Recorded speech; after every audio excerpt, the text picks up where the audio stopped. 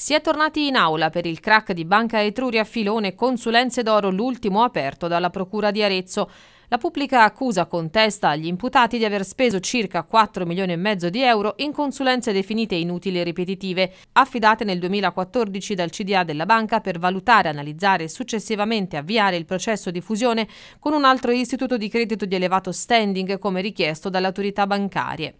In tutto 14 gli imputati in questo filone, tra loro anche Pierluigi Boschi, padre dell'ex ministro Maria Elena, e ancora Alessandro Benocci, Rosanna Bonollo, Claudio Bugno, Daniele Cabiati, ultimo direttore generale, Carlo Catanossi, l'ex vice direttore Emanuele Cuccaro, Giovanni Grazzini, Alessandro Liberatori, Luigi Nannipieri, Luciano Nataloni, Anna Maria Nocentini, Claudio Salini e Laria Tosti. Nell'udienza di oggi sono stati ascoltati due imputati, Nataloni e Cabiati, mentre l'ex dirigente Sergio Bertani, responsabile del settore crediti, è stato ascoltato come testimone.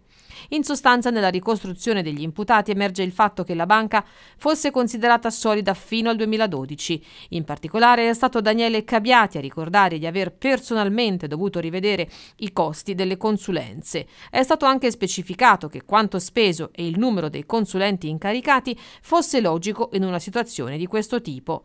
Nella prossima udienza, fissata per il 23 di marzo, ci saranno le deposizioni dei consulenti della difesa, ma nessun altro testimone tra gli imputati.